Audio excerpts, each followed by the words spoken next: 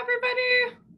Um, I hope everyone can see and hear me. Hi, I'm very excited to welcome the room to our Read More Plays Club. This is Concord Theatricals club for celebrating plays as works of literature. So can people hear me? Can you give me a note in the chat letting me know I'm good? Okay, perfect. Okay, great. Sometimes it just feels like you're speaking to a computer, even though, you know, we've been doing this for a long time. But um, I'm very excited. So today's feature play is Native Gardens, um, which I love. And we are very privileged to be joined by the brilliant um, and wise and funny Karen Zacarías. Um, and with her is director Lita, Lisa Portes, who directed the show at a Denver Center for the Performing Arts. So um, this is your first time, how this club works, we'll be watching them in a discussion for 30 minutes um, and kind of thinking about what they're saying, percolating, gathering questions. And then once that discussion is over, we will open the room up to questions. Uh, so uh, if you have things you are burning to ask about native gardens, um, please drop them in Zoom's Q&A section down below. You guys should all have a little thing that says Q&A. Um, just some rules of the room. I think everyone has probably been here before. If it's your first time, welcome.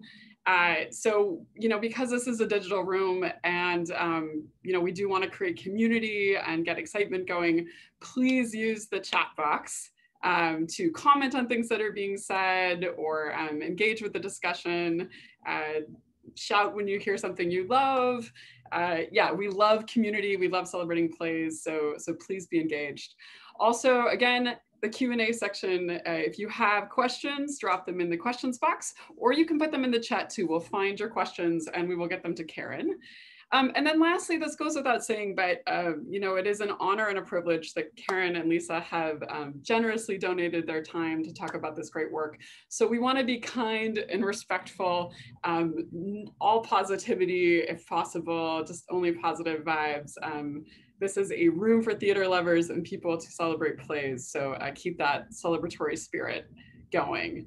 Um, also, yeah, you know, we wouldn't be a good publisher if we didn't do some shameless plugs here. So please, if you haven't bought your copy of Native Gardens, do that. Um, we'll drop a link in the chat uh, to go to the website and, and you can read all about Native Gardens, purchase your copy. Um, also, if you like discussing new plays, which I hope everybody does, uh, please sign up for the Read More Plays Club mailing list. Uh, we have some very exciting writers coming up in the next couple months, so we can keep the conversation going. Um, and then also to learn more about Karen and her work, please visit her website as well. So we'll drop info about how to find more about Karen and what she's working on. Um, I know she has some exciting things coming up, which I'm sure she'll share, or as much as she can share, I'm sure she will. But here, without further ado, so please help me welcome Karen and Lisa. I'm gonna read their bios and then I'll turn the room over to them. Okay, so Karen Zacarías uh, was recently hailed by American Theater Magazine as one of the 10 most produced playwrights in the US and is an award winning writer. She is one of the inaugural resident playwrights at Arena Stage, is a core founder of the Latinx Theater Commons, and she is the founder of the award winning Young Playwrights Theater. Karen was voted in 2008 Washingtonian of the Year by Washingtonian Magazine for her advocacy work involving the arts. She was an inaugural 2019 Sine Fellow for Policy Innovation at American University and was selected by the League of Professional Theater Women to receive the 2019 Lee Reynolds Award, given annually to a woman in theater who has helped illuminate the possibilities for social, cultural, or political change. In 2021, Karen was awarded a United States Artist Fellowship Award. So please welcome Karen. Thank you, Karen, for joining us.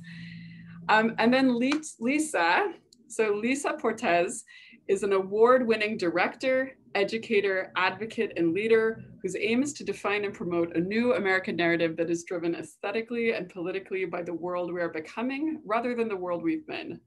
In 2016, Portes received the SDC Zelda Fichandler Award, which is dedicated to an outstanding director or choreographer who has transformed the regional arts landscape. She is the first freelance director to have been so honored. A leader with only over 20 years of experience in the field, Portes served on the board of the Theater Communications Group, the executive board of the Society of Stage Directors and Choreographers, and the Director Circle of the Drama League. In 2012, she co-founded the Latinx Theater Commons. Lisa Portes has, heads the MFA directing program at the theater school at DePaul University. So to kick off our discussion, we're gonna try something new this time. And we'd like to share with you a video. Uh, so let's see how this works. Hopefully we'll get our text. Hello, Lisa and Karen. I'm gonna mute my mic and turn off my camera. And now here's Native Gardens.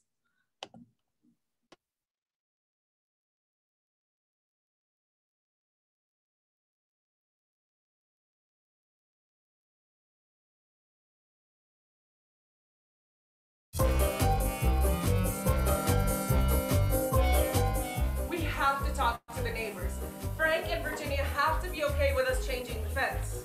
Are you serious? You want to replace the fence this week? This is the best news I've heard in a while! We own more than we think. Apparently, our property line might be Two feet wider. than we thought. This is terrible. How, how could this be? This is our property. We are going to give these ambitious kids a gentle lesson in maturity. I will put a stop to this whole travesty. This is a border dispute.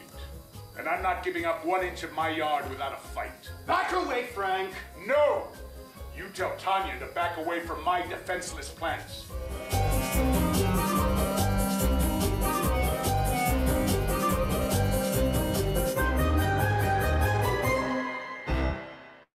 Oh my God, so many memories, so much fun. Karen, you got to unmute yourself. Unmute, unmute. I still, Amazing, amazing. Um, first of all, I think that this, um, uh, I'm Lisa Portes. Like, Karen, you want to say I'm Karen. Zacarías, and uh, we're so excited to be here today. That was Lisa Portes's fabulous production of Native Gardens at the Denver Center in the round. Um, so they had dirt coming from all directions, and um, we're excited to talk about this play with all of you. Yeah, and I'm super excited by this whole idea of read more plays and and kind of participating in these. I mean, it's one of the great things about, I guess, one of the silver linings of COVID and Zoom, our, our knowledge of Zoom is that we can have we can talk about plays uh, in ways that I don't think you know. I mean, it's rare that you get an opportunity to talk to the playwright and that anybody can come and. So I'm going to kick us off by asking a couple of questions uh, to Karen about first of all you know, we heard your amazing bio. I mean, there's a trillion plays that Karen has written. If you don't know that, just look up her actual bio. There's trillions of plays. I don't know how she's written so many plays, um, but she somehow has written so many plays and raised many children and like not and, and is married still after and for a very long time. So that's an amazing thing. So, um, but you know, so the question is, you're a superhero. I mean, to me, you're a superhero, and like any superhero, what is your origin story? when where did you come from and when did you start writing Uh, so uh, thank you so much. I've never thought of myself in that way, but if I, I would say that my origin story, I was born in Mexico uh, uh, to a family that, you know, liked writing poems on napkins. And uh, when I was six years old, I decided I was gonna be a writer. Uh, why, I don't know, but I announced to my parents that I was going to be a writer. I had written a poem that was called um, Me despierto con amor, I wake up with love. Um, and then the other counter poem is I'm tired of the moon. So I guess I, I've been up all night. Um, and the first money I ever got from, you know, getting it from the tooth fairy, which we call El Raton in Mexico, I saved up to buy a typewriter. So that's what I wanted to be since I was very little.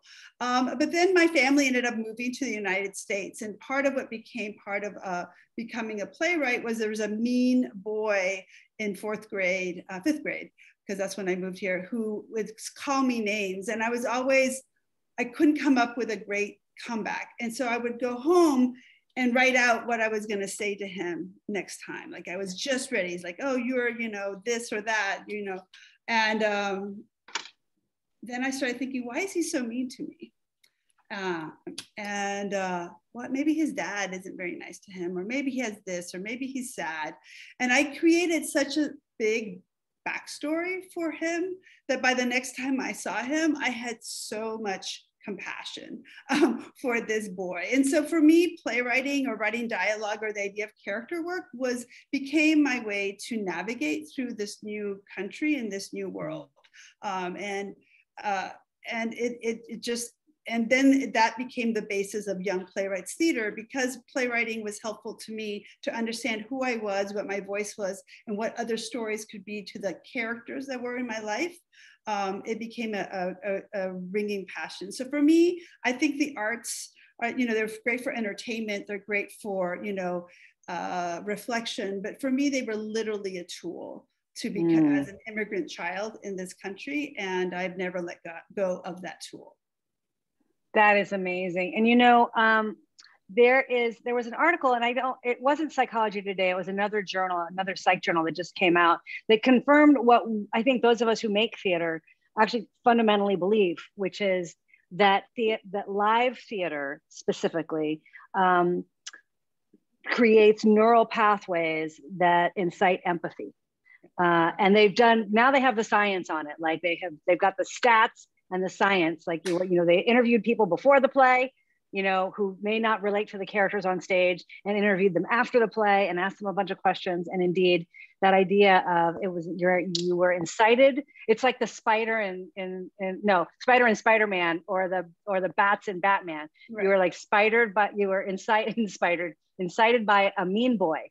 A mean boy. And then and then figured out how to find a story for him or compassion for him and then became a creator of compassion actually which is amazing. So that's your superhero super skill is creation of compassion. Hey so speaking of why have you decided as a writer to focus on latinx plays? I mean you know just because our one's last name is zacarias or portes you know we can write whatever we want or direct whatever we want. Why have you made that decision to focus on uh, latinx characters I, I am I am not first generation. I am an immigrant. I'm you know I crossed the border with my parents and my sister to this country when I was 10 years old. I knew what it lived, you know, and I would get so many questions, well-meaning questions. How many burros do you have? You know, like is it how is it that your parents how could your dad be a doctor and still be Mexican, right? Like like things like and it, it they some of them maybe came from an, uh, an, an unkind place, but most of them were just curious, like because those were the images. You know, they only knew Speedy Gonzalez. You know, um, who, who I happen to kind of love Speedy, but you know, but but but but uh, there just wasn't a lot of imagery, and so the idea of uh, building a bridge and kind of explaining, uh, showing, not telling, about how mm. complex uh, Latin America is. You know, it, it's not defined by race. It's that you know there's a lot of races that are part of Latinidad. Uh, there are a lot of different cultures. Being from Cuba is different from Paraguay. It's just there's just so much there, and we're all lumped into this big, you know, big box of saying that uh, because we share mostly a common language and common common colonialist. Um, uh, oppression, I guess, right. um, uh, that we are, and so we, yes, there are in, in a lot of times religion, but there's so many things that make it diverse. And so I was just interested um, in that, and that, and that was my world. Like, I just, I was like, oh, like I, I just came from that world. In my other world, I didn't have to tell people I was Latina or Mexican or that type of thing. And mm-hmm. so it mm-hmm. just seemed like a natural, natural, natural fit. Um, you know, part of part of being an artist, at least for me, was always seeing where there was a need, what mm-hmm. stories weren't being told, and there were a lot of fabulous stories told about you know a certain part of the population that I saw on stage because my uh, the one thing I asked for my birthday every year since I was 10 was to go to a play and when we moved to the United States, the first play we saw was Peter Pan, and the second one was Little Foxes. So I mean, so they made a very uh, deep uh, memory of me. But but they, they, they I love those stories, but they weren't my story or where I came right. from. Right, right, right, right. So like, why did you go into it?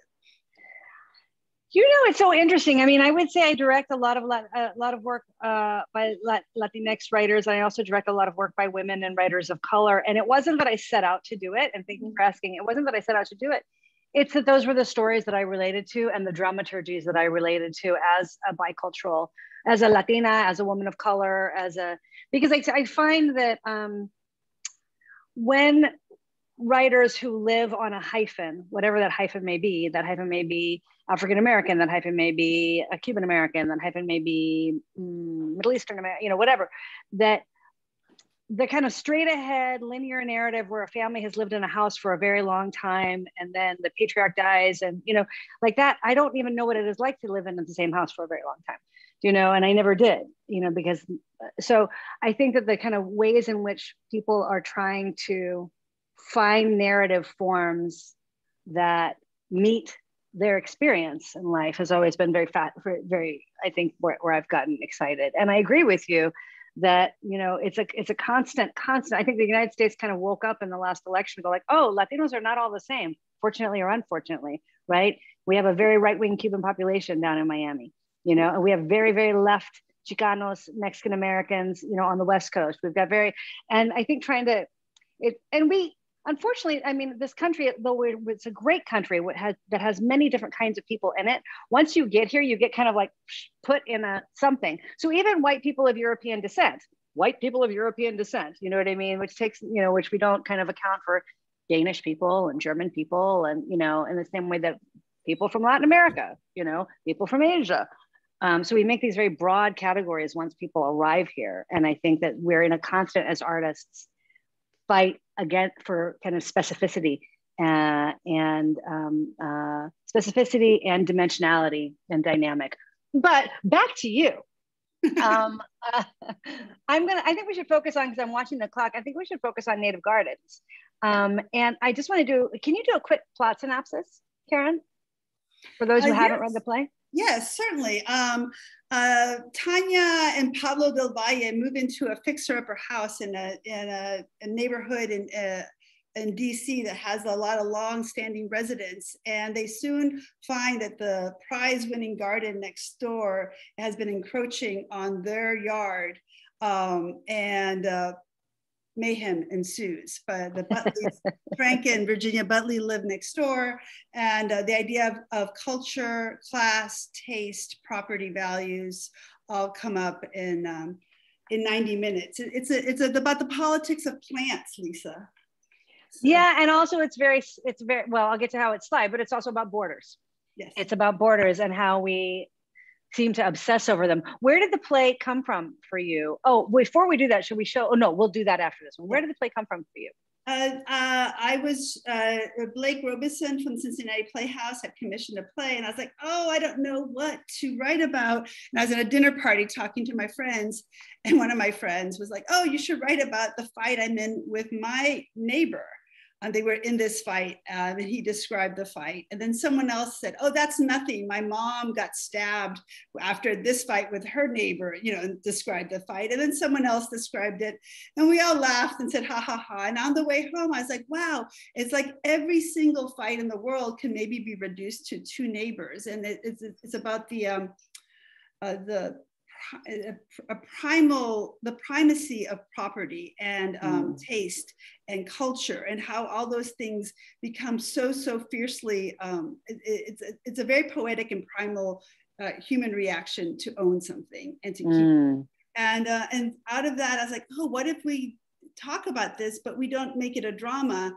We actually make it um, a comedy because there's something also kind of absurd at the at at the crux of it. There's something beautiful and absurd mm-hmm. at the same time. So I wanted to investigate the absurdity of that because you know uh, our country was going into a presidential election and i mean i wrote it before the presidential election but all of this energy was already in the air obviously right right right well it is a pretty sly play it's a pretty sly little play, and audiences in blue, red, and purple states have responded kind of in, in, in, in so positively to the work. Maybe we can show some images from the different productions that have happened across the country.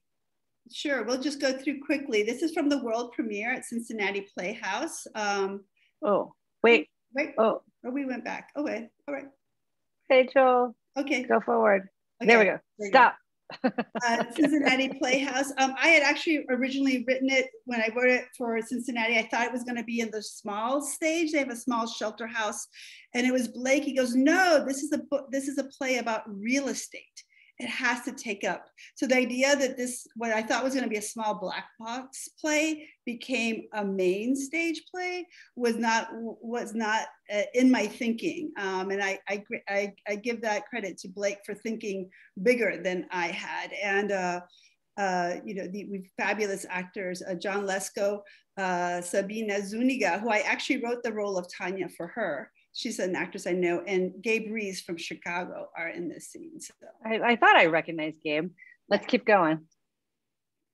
Um, this is Karen Ziemba also in this production, um, and we can just keep going. What was interesting about about all of this. Um, this is the production. Then, you know, Joe Haj and Molly Smith, who are both uh, Molly here at Washington, D.C., and Joe Haj and his first season of selecting um, plays, he picked Native Gardens as, as his end of the year comedy. And that kind of, uh, when the, both of these theaters decided to do it, um, Blake also directed this.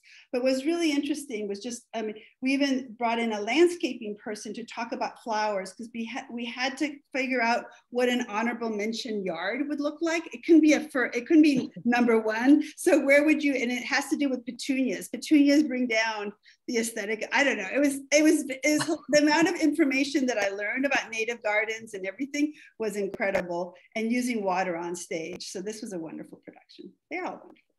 Um, this is your beautiful production, which is the first time I see it, saw it in the round where the audience was all around it and the yard was in the center of it. And I thought that was a really dynamic and exciting way of, of dealing with it. There were no borders.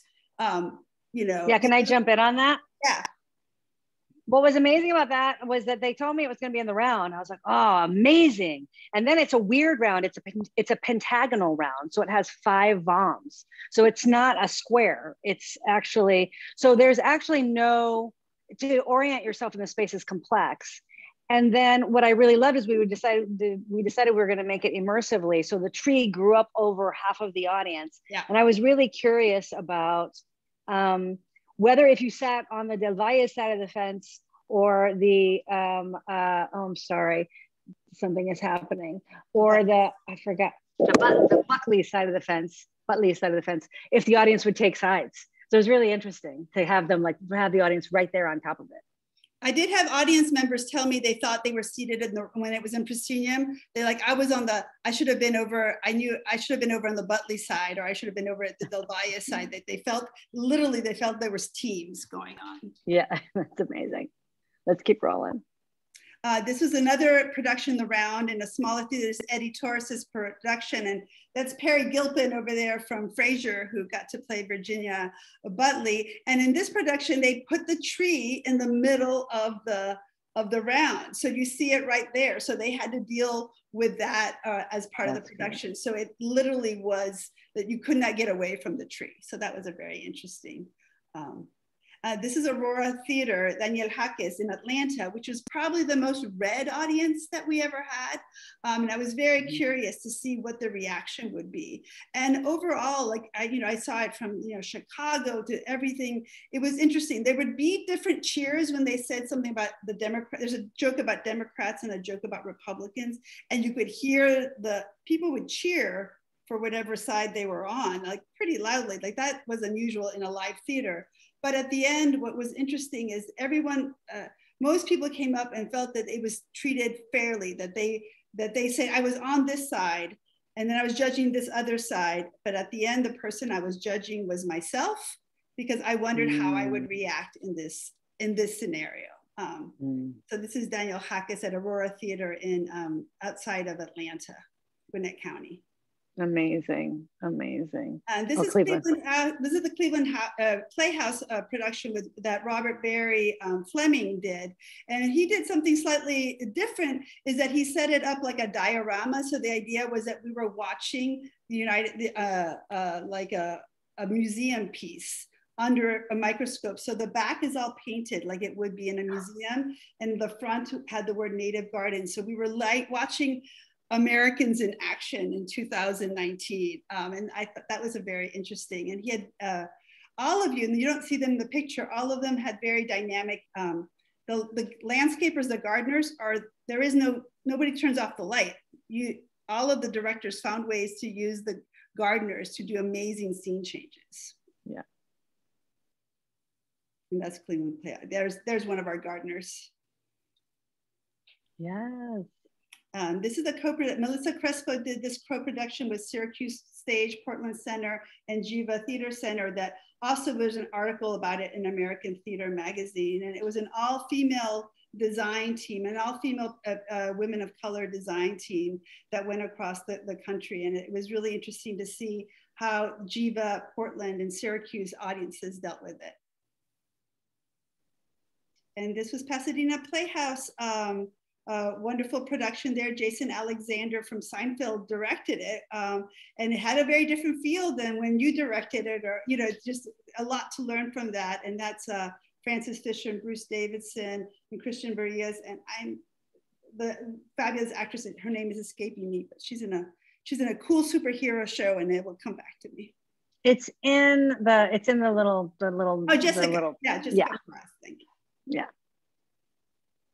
Oh, that's amazing. I mean, I mean, what a, what a gift and what a kind of interesting project for a playwright to see so many different productions over such a short period of time, and and with so many different directors and so many different political environments. Yeah. Um, and like I said, it's a sly little play, and it's done very well. And so, what is? What's the secret sauce, Karen? What's the secret sauce the to like sauce, how it works? Secret sauce is just being lucky. I mean, I the fact that I, you know, that uh, Trump had not even brought up the idea of a wall when I was writing the play, but that was in the atmosphere. And if you're if you're an immigrant from Mexico, you know that the, there's been a wall there for uh, uh, in different ways, a metaphorical and a literal and all other wall. The other thing is um, uh, a four character comedy. I probably should have thought about doing that earlier, but mostly I had to learn to love all four of my characters and I had to learn to have them all have huge blind spots. Um, mm. And so to go through and write them with affection and then have them piss me off at some mm-hmm. point. Um, and that's that's something if I'd been younger, I might have been a lot more on once, you know, of course there's a side I identified with more, but um, I, I had to really put myself in that shoes of when when were other people being ridiculous about it. Mm. And so, do you feel? I mean, do you feel you were able to find the blind spots for um, the Del Valles? I mean, clearly oh, yeah. you do, but like, yeah. Yes, yes. I feel like I, you know, I, I definitely. I mean, any husband who says he's going to put on a party in six days with a pregnant wife, uh, uh, oh my goodness, uh, that already just starting there, we could we could have a whole play just about that that just about and the other thing is it had to be 90 minutes. Like we we noticed that it that it, it they can't stop to think. They kind of need to keep going because that's what happens when you get angry and it, things build. It's that you don't have a moment to like calm down. So there was a number of theatrical choices that had to be made to keep the momentum going. I love what you said, and I, uh, and I don't know if you said it already or if you said it when we were talking before about wanting to that the idea of property is both primal and absurd mm-hmm. and that you wanted to um, find the absurdity and that's where you know i mean clowning comes from like the blind spot right? It comes directly from the blind spot. You know you think you're completely 100% right about something that is somewhat ridiculous. Um, uh, what have you learned having seen so many productions from across the country? And i know you're really good when people ask you to fly in. I don't know how. Your your family is incredibly generous because you always show up. Um, um, what have you learned from watching different audiences in different cities um, the the uh, you know I think uh, uh, comedy is loved but not respected. But I really thought there's something disarming about it, and learning to use it um, in, uh, in in this way. You know, I had originally the first draft of this play. I told you Frank had a heart attack and almost dies. It, it ended very very grim because I wanted it to be funny, but with such edge. And then at the end, I was going to punish the audience for, you know, whatever it was, because that's, and after I wrote it, I was like, well, I don't want to see this ending. Like, I, you know, maybe it's realistic, but that's not the ending I, I, I want to see. And it's not fair. You also start up a relationship with the audience. I think you build trust with the audience and, and the idea of like pulling the rug in the wrong way just also seemed um, not fair. So I almost I had an ethics battle with myself about what the ending should be um, and and why it should be in a certain kind of tone and way. I mean, it's interesting, and I want to talk a little bit. Wait, what? an ending that maybe raises that's kind of pat, but also maybe raises more questions, right? Well, that kind of gets to my secret sauce idea where I was kind of subtly trying to go, which is that I think this, you know, you, what this play does is it disarms the audience. You know, we are we are very fraught. We were we were not as fraught when I did it as we are now. We are more fraught now, but I do believe the play still it disarms the audience through laughter and it allows us to see one another or to see ourselves as your as your audience member said i see myself and, and in doing that and in allowing it to actually not resolve badly you know there's so many plays particularly about brown and black people that just end very badly we're kind of and, and i respect the plays and i've directed the plays and i'm in love with so many of those plays of the plays. But i also think that the what happens and part of kind of creating compassion what happens when we can um, not all die and find find our way towards one another you know which is what i think your play does so beautifully. Um, and you're talking about the ending. Um, let's talk about the ending because you said you've gotten many letters. So the ending you know it's a 90 minute play and like a good comedy. Um, it ends not in a bunch of weddings although i kind of added one but you um, the, it ends with everybody having kind of made up and getting along. And maybe they're not going to be besties but it's you know so it comes together very quickly and like a shakespearean comedy you know five impossible relationships have begun and will last um, and you've taken you've gotten like love you've got love hate on this. You want to talk well, about that? a lot of people just love it and go but then i've gotten letters i've been like oh the play should end you know people love to give you advice. The play should end the moment she gives birth to the baby and we don't know what happens after because you know the baby's the future but what are they going to choose to do? I'm like okay yeah that's that's valid. And then there's others that they're mad they're like why didn't you show us everything they did to make up and i was like i did that oh. on and i'm like i did that on purpose first of all it's a it's a 90 minute play and i do think the play would lose you add I mean, there's something about knowing how long part of comedy is timing, right? And so going any longer, you start to, it starts to become heavy under its weight. I, at least I thought as a writer. And I was like, well, if you think it's what, what is, why doesn't it seem realistic?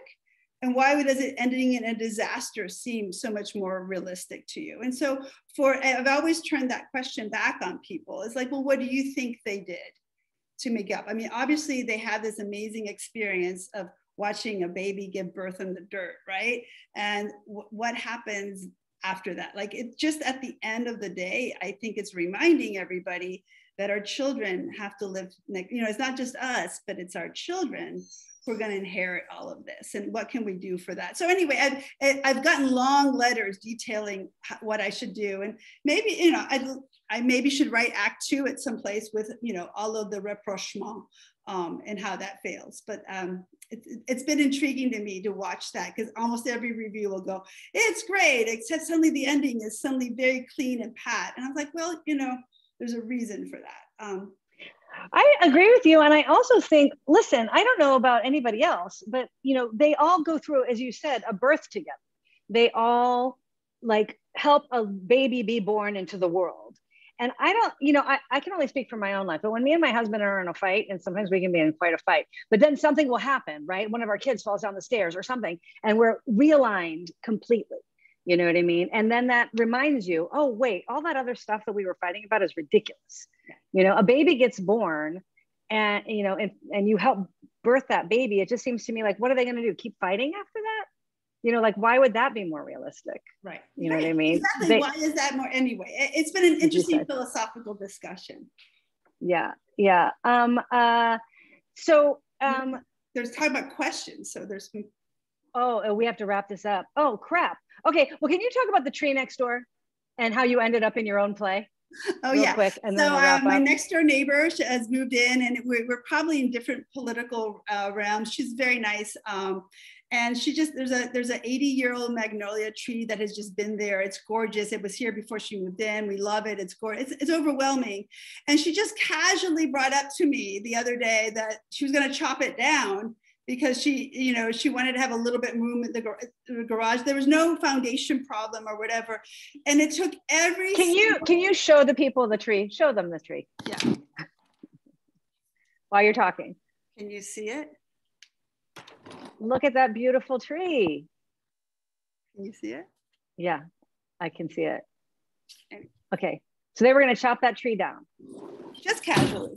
And uh, I had to take everything I learned from every single production I've ever seen of this play to hold, to not jump over there because it's her tree, it's on her property. To how how could I save that? How could I save that tree that has housing thousands of birds and kids uh, my kids used to climb on it before you know all of that. And you know it was it was i went on facebook and i got all of this advice and it became this big community thing.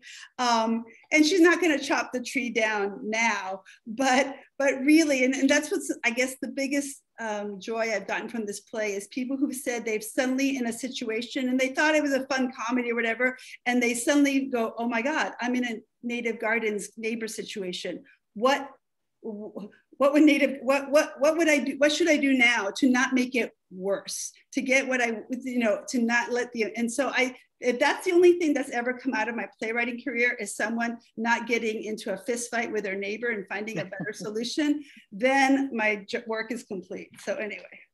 And on that note i should hand it back to amy because i know that there's some q&a going on. Amazing karen. Amazing Thank you, guys, this discussion. I mean, I'm I have so many gardening comments and like, but no one about my personal gardening wars. Um, yeah, we have a lot of good questions in the chat, so I'm going to um, throw them out here. I'll start with uh, so Aaron Munoz. Hi, right? Aaron. so I'm curious about Karen and Lisa's view of the Butleys post-Trump and how that might have transformed the play since the play was originally written. So thoughts there? I mean, I'm gonna throw that to Karen first. Um, I, I always thought it was really, um, uh, you know, I have I if I have people in my family, my on my husband's side of the family who voted differently for president than I did, and I love them very much. Um, and part of it, uh, I just had to make sure that the Butleys in their personal interactions um, never crossed the line that could not be crossed back. Um, but we did talk about it because Trump was president or running for, what, during a lot of these uh, productions. Um, so I'd be interested in, Lisa, what discussions you had with the actors because I wasn't necessarily in the room. I think every production made it just made it made some kind of every actor made some kind of decision about who who they had voted for president um, at some point um, yeah. in the process.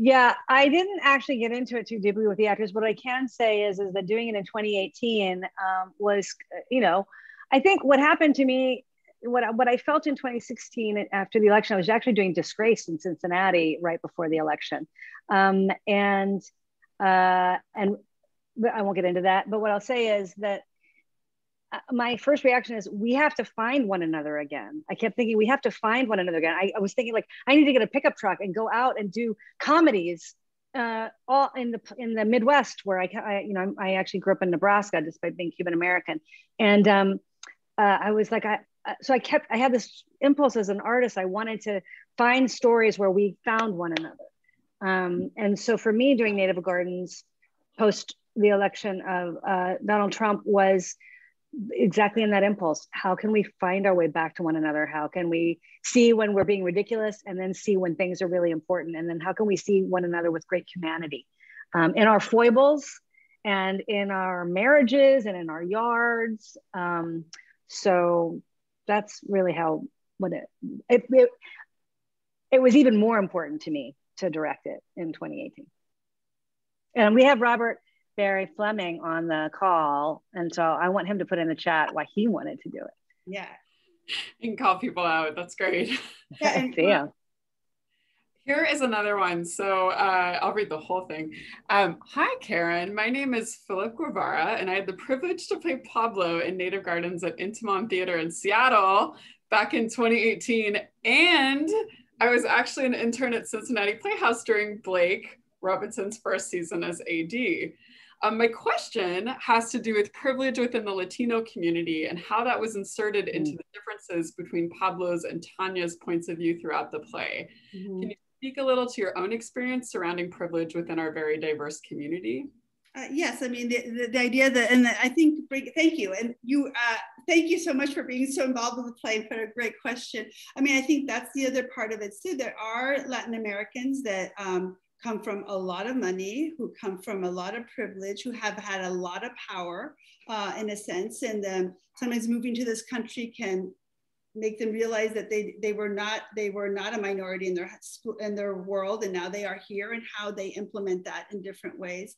I mean we've all seen with the black lives matter the latino community has had to look within itself against its colorism against its anti-blackness. Um, there's a lot of different issues that just because that we come from a, a, a hue of browns and, and blacks and whites and all of that that there isn't discrimination and uh, biases that are coming up there. And I thought it was really interesting to the how Tanya's experience as a, a, um, a Mexican American, right, growing up in the United States, you're not even speaking a lot of Spanish, which is Pablo, who had grown up in the wealthiest of families in Chile. They, there was there was there was class issues just happening between them um, and how changing money like you know he lost all his money and now he wants to get it back were incentives for going. So these are stories, I had never seen a Latina PhD on stage before. And, and, and I was really, I know a lot of them. Um, and I, I was excited for Tanya to be that, but also the representation of, of there's can be uh, extreme uh, swings in wealth and education and, and perspectives, like as Lisa was saying, you know, because you're Latino doesn't mean you're going to vote one certain way or think one certain way it gets pretty complicated. And I think also, and I, you know, I think that the portrayals, it's important to complicate uh, the portrayals of any, of everybody. You know, as I was saying earlier, it's important to complicate so that the idea, you know, if you're a Mexican and you have a burro, you know, and did you did you swim across the river? And many people did. Yeah. You know, many people did, and those stories are important. And it's also important in this country to know that there may be a Chilean. You know, when I was in Colorado at skiing because my brother skis. I went to go visit him in Beaver Creek. There were so many really, really, really incredibly rich Latin Americans. Like there, I was astonished. Anyway, I just think that it's, you know, we won't achieve real equity across uh, the country unless we understand that we're all quite complex. Right. And the same, I tried to do the same with uh, Virginia and uh, Frank Butley. You know, the emotional gardener is not the woman. Um, and the the engineer who kind of makes a lot of the decisions is Virginia Butley, you know, so it, it, it was playing and there's even a part where she's trying to hire a lawyer and he keeps calling the lawyer he and in every single production i saw some women in the audience would yell out she. I mean, it was really fun to see how many people talk back to the play. I really loved that. Great. Um, okay, uh, let me move on to another question. So this is from an anonymous person. Um, I love the quote at the beginning of the show. The difference between a flower and a weed is a judgment. Later in the play, the baby's name is Margarita, which is Daisy in Spanish um, which is followed by Virginia and Frank saying that a daisy is a native plant and it is a weed and a flower. Can you talk about that quote in relations to the baby's name or the metaphor of the name or how you chose the name? It's a deep question. yeah, yeah, yeah, yes. Um, I actually got that quote from a, a, a cookie from a, a Chinese restaurant, um, a fortune cookie. So that's where I got it. I actually, uh, I, I, saw it there and it, it kind of struck as, uh, stayed with me. Um, the whole idea of, of you know, uh, Daisy, Margarita, people always think of a margarita as a drink, right? Um, but it's actually Margaret in Spanish, which is also Daisy in English, and the, the flower is called Margarita. And, and so it's just a matter of like how one word can mean so many things at once and how what you thought was this beautiful rose may not be feeding the environment like you thought and these you know these other flowers may be doing things. I learned a lot about native gardening um, and uh, what and and how and i don't have a fully native garden i'll be honest with you but but i do have a lot more native because i, I found a hybrid to make it you know work in different ways. So it, it's just about how not not one one name can mean so many things at once. So um, Yeah, good, good catch. um, okay, another, uh, let me see. Let's go to this question because it's also about gardening. Um, so flowers.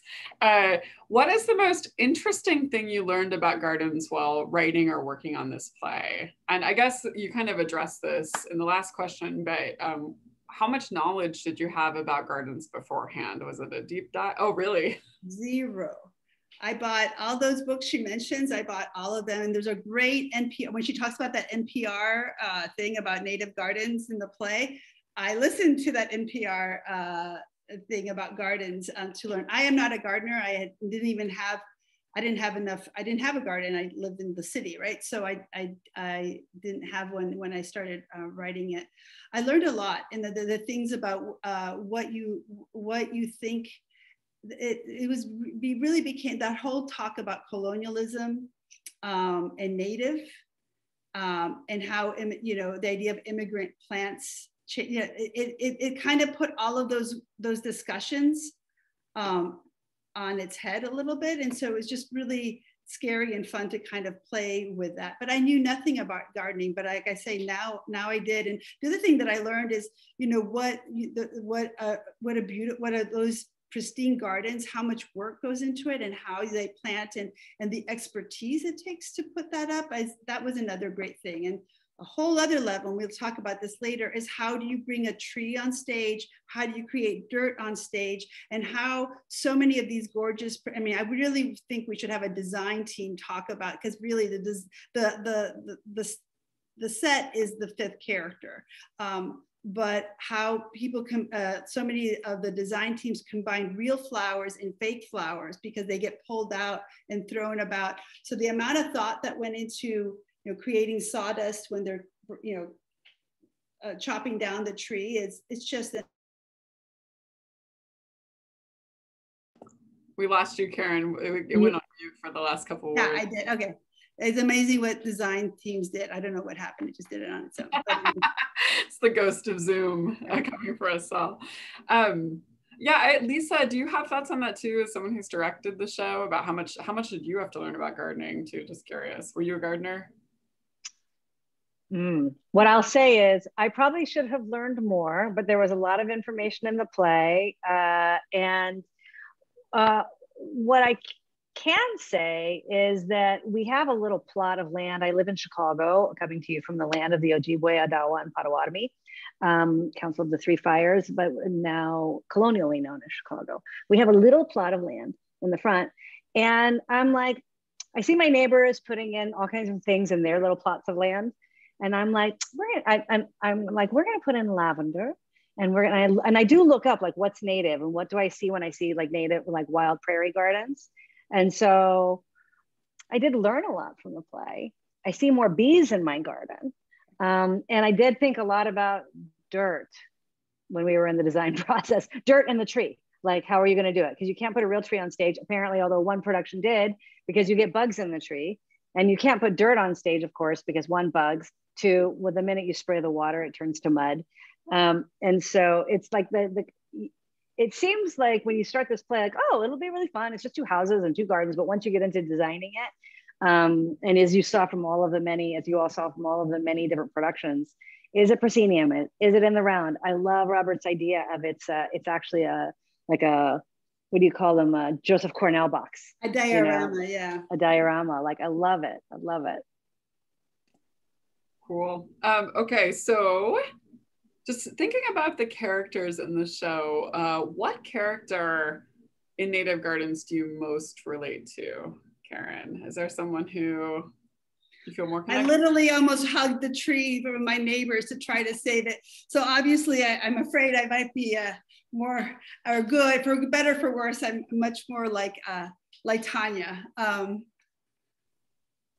but I have a little bit of all of them in me. I mean, that's the truth. I mean, every character because you, you write them from with. Uh, I write as a there are uh, writers who write like directors, like seeing more the thing, and I write more like an actor. I'm, I get to play each each character.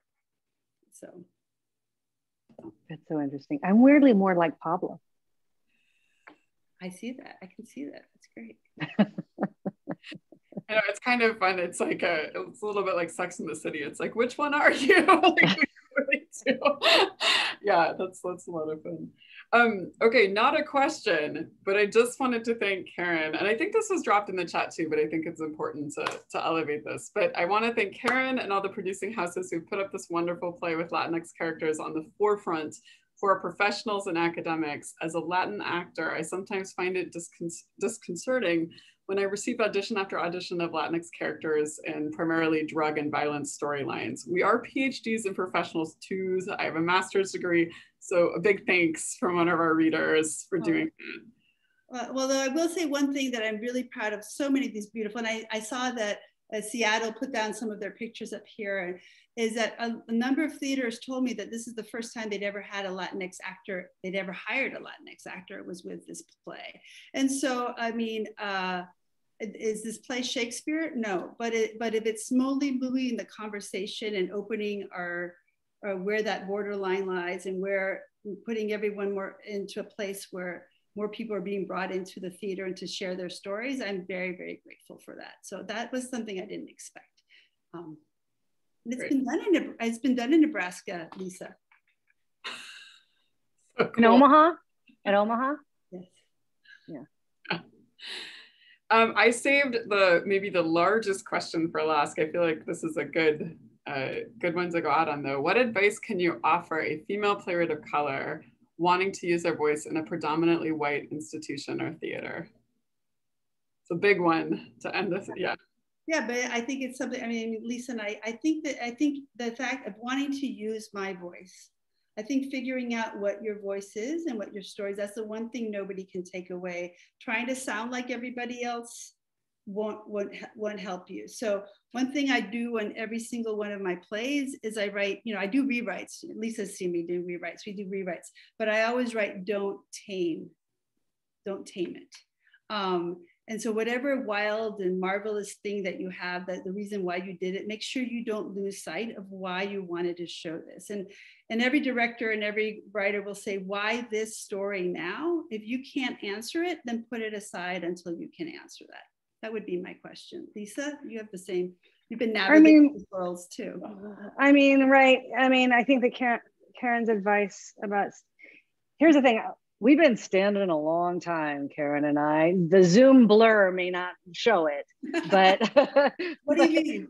We've been standing a long time. And what I mean by that is um, with Karen's advice about sticking to your own voice as an artist, whether you're a writer or a director, an actor, a dramaturg, a designer, eventually I do find like the world kind of revolves around to like I would I say to people like I was selling kumquats for a very long time and everybody was buying apples. And then suddenly everybody was like, we like kumquats. And I'm like, I got kumquats. Do you know what I mean? I feel like, you know, eventually I think the world will goes through cycles. And sometimes what you are, what you are, what your artistic voice is about, people uh, will come to you, is what I'm saying.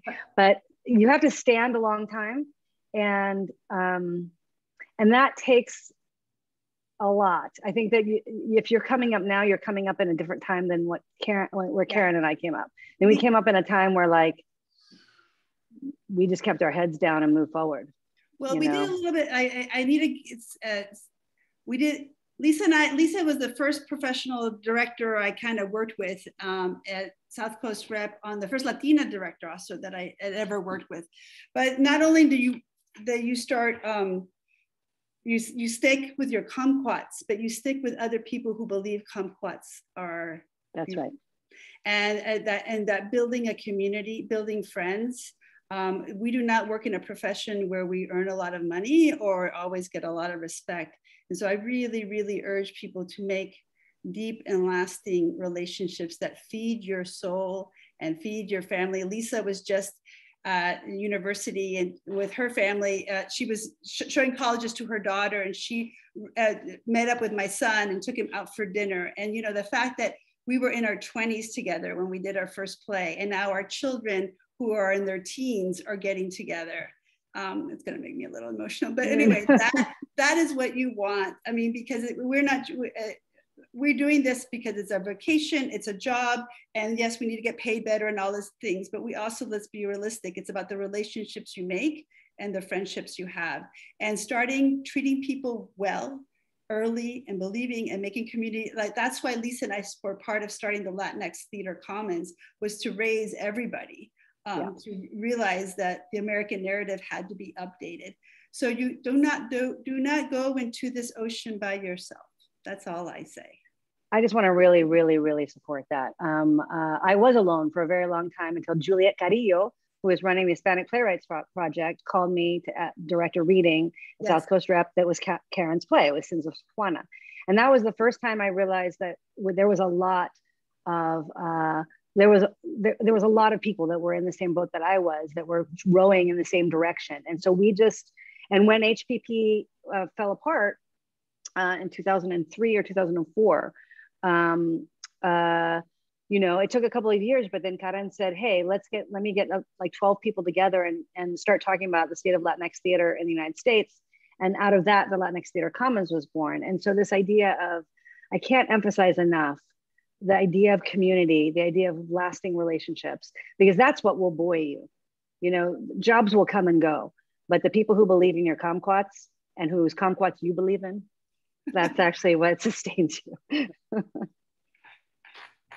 I love this. I love all the fruit uh, metaphors. it's like, no, I really want some kumquats. Um, but I really appreciate, you know, on behalf of Concord, um, you know, you, both of you joining us today and just bestowing your wisdom on us and your experience um, and reading this play. Karen, it's a complete pleasure every time we revisit it or every time I revisit it personally. And I think, you know, the team at Concord has really gotten to, to love it and know it. So thank you so much for spending your time with us today. Um, and yeah, if you could join me in the chat and see, express thanks. Um, we really loved having you. Um, just a few more things before we close out this edition of the club. I'll be quick. Um, so first, uh, I have the, the pleasure you guys are hearing it first. Uh, we're going to announce the August selection, uh, which is Confession of Lily Dare by the great Charles Busch. Uh, Charles will be joining us on August 31st at 5 p.m. So um, I hope people know that play. If you don't, um, equally as funny in a very different way than Native Gardens, but seems like we're on a comedy roll lately. So uh, that'll be a lot of fun. Uh, and if you'd like to join or you want more information, uh, join our mailing list. Uh, we'll send out reminders and links on how to buy the play. Um, but and also more information on September and October coming up soon. Uh, and then lastly, on a final fun note, so just because we opened this with a video, which I think is like the first time we've done video at this club, we're getting very innovative. Um, we'd like to close out with a video and we thought it would be fun since we talked a little bit about the mystery of dirts to kind of share some insight on that mystery. So I don't know if Karen and Lisa, do you want to introduce this or? Should Karen just... should introduce it. Uh, this is uh, from the Syracuse stage, Melissa Crespo's um, a production of Native Gardens. And uh, I wish I knew who the, who the person was speaking, but they sent this out about the dirt there and how they made it. Okay, so we'll watch the dirt video. Thank you everyone for joining us. Thank you, Karen. Thank you, Lisa. Thank you for having us. And we'll see you next time. Hi, Thank you so much. Houston. I am the prop master here at Syracuse Stage, and today we are going to talk about making dirt for our production of Native Gardens. You might ask, why would we want to make dirt for a prop as opposed to just going to the store and buying it? But there's a myriad of reasons why we wouldn't do that. Mainly because we wouldn't want bugs on the stage. We've got some water in the show, so we don't want to actually make mud. And we just don't want the general mess of having actual dirt on the stage. This is the recipe that we came up with.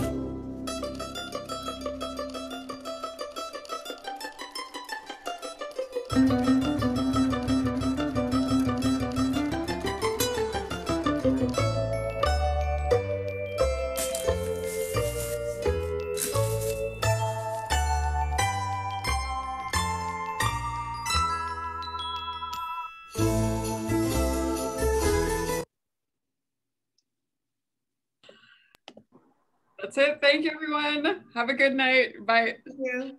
Bye. Thank you.